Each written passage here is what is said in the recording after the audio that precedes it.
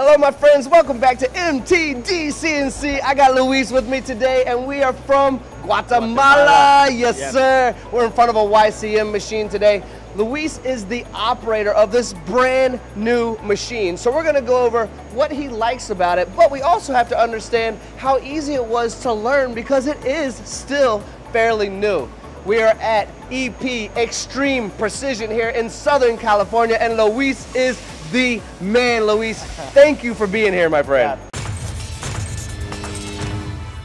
30 years experience working on CNC machines and so I'm happy with this brand new machine and easy to, to use.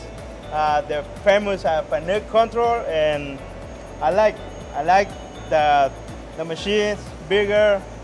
I use uh, five five vises. You can put many uh, Different pieces of different work on there, right? yeah, And di- different offset, different work work offset. You can use 54, 55, 56, 59, whatever you want. Like many uh, work offset you can you can use because it's it's big big table.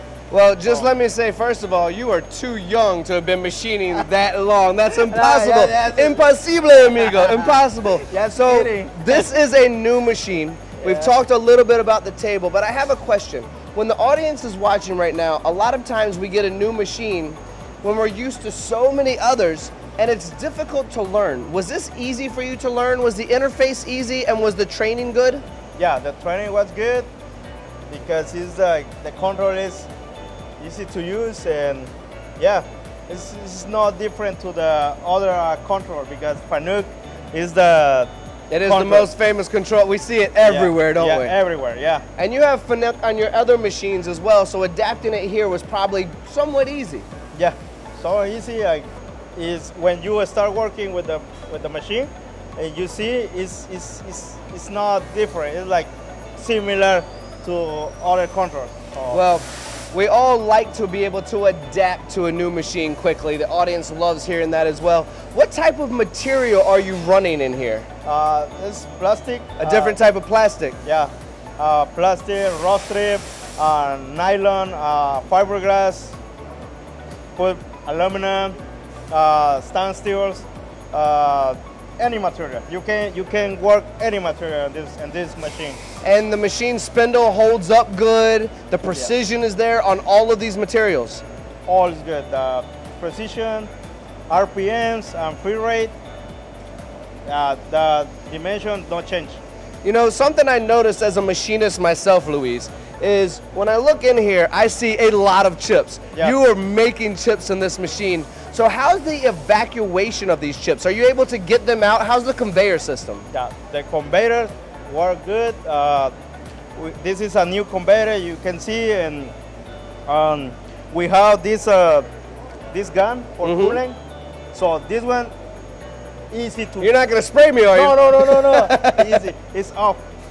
It's off. So it's nothing in there. I thought maybe you were gonna have a blooper reel for everyone watching and you were gonna spray me. Yeah. So easy to clean with the guns.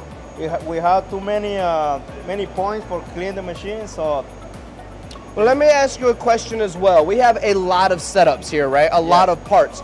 Your tool changer, are there enough tools in the tool changer for all the different type of cutting tools that you need for your projects?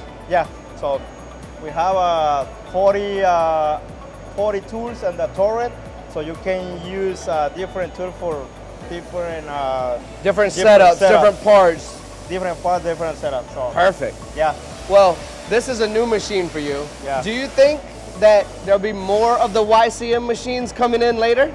yeah, You hope so. yeah. We're waiting for another one. Yeah, I yeah. like it, Luis.